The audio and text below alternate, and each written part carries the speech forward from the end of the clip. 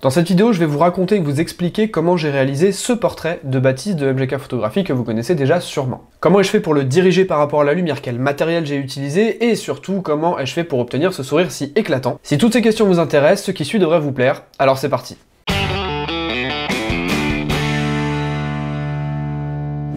Commençons tout d'abord par un peu de contexte, car il est important de comprendre d'où je démarre pour faire cette image. Ce jour-là, on vient de se rencontrer pour la première fois en vrai.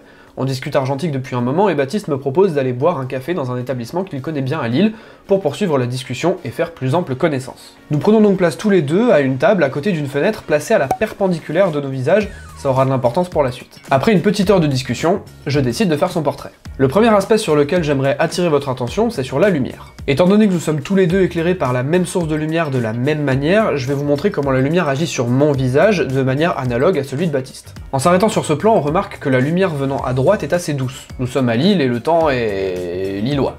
Et donc le soleil n'est pas direct dehors, la lumière est assez plate et sans direction. Et comme la fenêtre est très grande, elle garantit une lumière douce sur nos visages à tous les deux. Vu que c'est à peu près la seule source de lumière qui nous éclaire, hein, les lampes ne comptant pas vraiment, l'autre partie de notre visage est dans l'ombre. Et vu que je ne souhaite pas particulièrement avoir un éclairage de type split, c'est-à-dire une face éclairée, une face dans l'ombre, je demande à Baptiste de tourner la tête vers la fenêtre.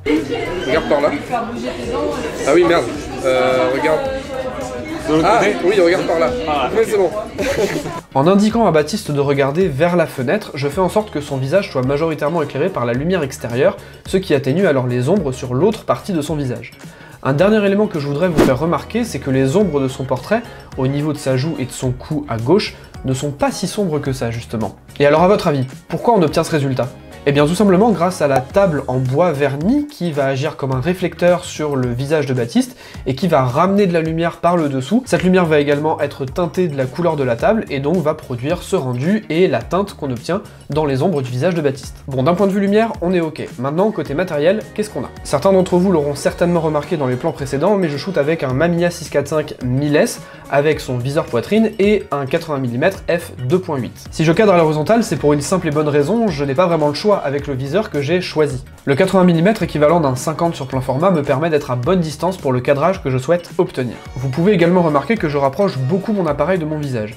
Et c'est pour une raison très simple encore une fois. Je ne souhaite pas que Baptiste soit pris trop par le dessous. Déjà, ce type de cadrage n'est pas nécessairement flatteur selon la personne que vous prenez en photo, et en plus de ça, votre sujet va paraître imposant dans le cadre, et c'est pas du tout ce dont j'avais envie sur cette image. Je vais donc devoir limiter l'angle de prise de vue par rapport à l'horizon des yeux de mon sujet, et du coup je me retrouve avec un angle qui est légèrement, très légèrement contre-plongé, mais pas aussi marqué que si j'avais laissé euh, mon appareil photo au niveau de mon ventre par exemple, au niveau de la table, ce qui aurait produit les effets que je ne voulais pas. D'ailleurs, j'en profite pour vous rappeler que j'ai créé une formation portrait dans laquelle je vous explique encore plus d'éléments sur la manière dont je fais des portraits, avec plein d'exemples concrets, bref, elle est dispo sur mon site, le lien est dans la description. Enfin, d'un point de vue gestion du sujet, je fais quelque chose d'assez simple. Déjà, je galère pas mal à faire ma mise au point et à régler mon appareil photo.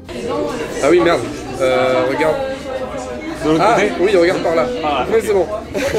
Moi, je les fais tous attendre comme ça. Hein. ouais, je sais, je sais, la même technique.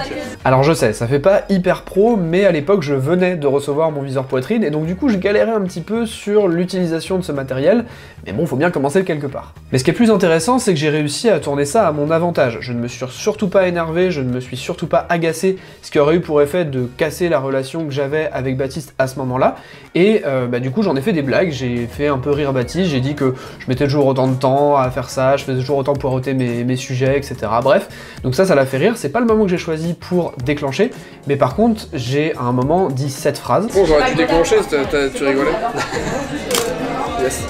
Qui finalement provoque un sourire que j'ai réussi à capturer avec ce doux bruit du Mamiya 645 1000S qui déclenche. Pour commenter en quelques mots ce portrait, je l'aime beaucoup et Baptiste aussi, ce qui me fait dire que ce portrait est réussi. Je suis content du cadrage et de l'angle de prise de vue, d'autant que je shoote assez peu en format paysage. Baptiste ne montre pas un grand éclat de rire, mais ce n'est pas plus mal car son visage n'est pas trop déformé. Je suis aussi assez fan des tonalités chaudes de ce portrait, elles se marient bien avec le fond qui ne prend pas trop d'importance, et la lumière du jour un peu plus froide vient bien contrebalancer tout ça. Et vous? Vous en pensez quoi? Dites-le moi dans les commentaires, ça m'intéresse. D'ailleurs, dites-moi si ce format vous plaît, et si c'est le cas, j'essaierai d'en faire d'autres sur la chaîne. Je vous laisse aller consulter tous les liens que je vous ai mis dans la description, mon Instagram, mon site, les workshops, la formation et le Tipeee si jamais vous avez envie de me soutenir, et en attendant, moi je vous dis à la prochaine, salut